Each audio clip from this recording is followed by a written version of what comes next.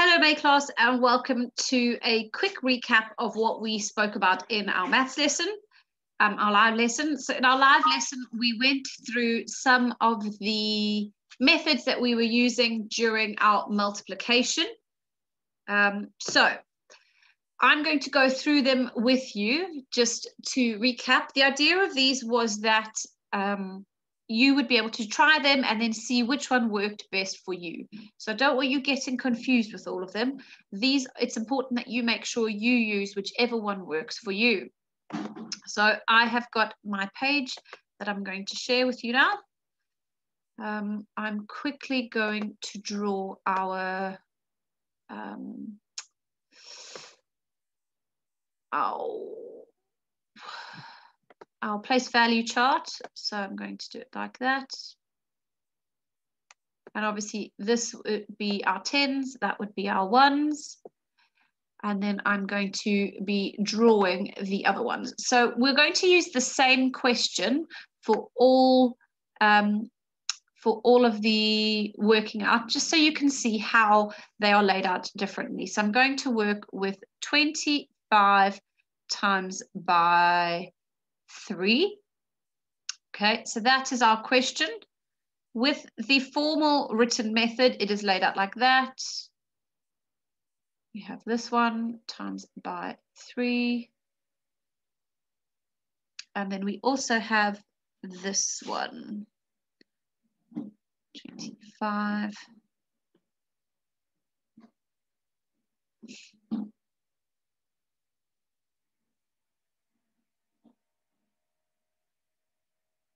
Okay, so these were some of the methods that we went through together.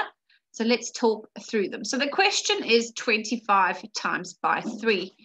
With our place value mat, you need to have three equal groups because we are dividing it, or sorry, we're timesing it into three equal groups. And in each group, we would have 25. So I'm going to do a 20 and I'm going to do one, two, three, four, five. That's one group. 20, one, two, three, four, five. Last one, 20, one, two, sorry, that's 20. And then our five, one, two, three, four, five. So we've got three groups of 25. Now, all we have to do is add up these. So we can go 5, 10, 15, which means we have one there, we have five there, and we have one counter that moves to there. Then we have two, four, six, plus that one gives me an answer of 75. So that's how we would use the place values. With this one, where we split them up, you are timesing um, this one by three, and this one by three, and then you're adding them together. So five times three is 15. And then 20 times three is 60.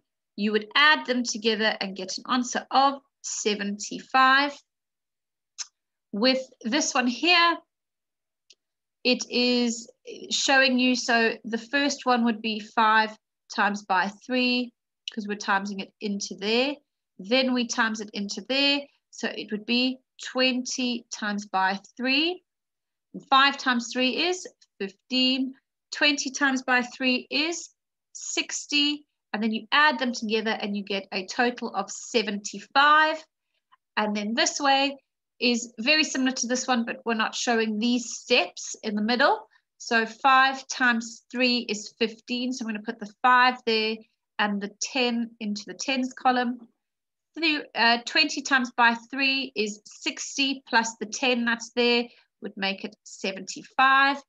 And the one that I haven't actually put on here, and let me just see if I can move this, there we go, is the number line one. So I'm going to draw a number line here. And the idea is that you start at zero. And I'm going to use a different color so we can see this. I'm going to start at zero. I'm going to break my number up because I know that 25 is the same as 10, 10, and 5. and I'm going to times each one of those numbers by 3. So that's going to be 10 times 3, 10 times 3, 5 times 3. So 10 times by 3, 10 times by 3, and 5 times by 3. And 10 times by 3 will take me to 30.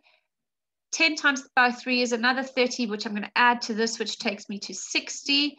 And then 5 times 3 is 15, even if you write them in there to help you work that out. Um, 60 plus 15 is 75. So those were the, the different ways of working it out. What we wanted you to do was to choose which one worked best for you. So make sure that when you're working it out, obviously choose the one that you think you understand the best and use that one.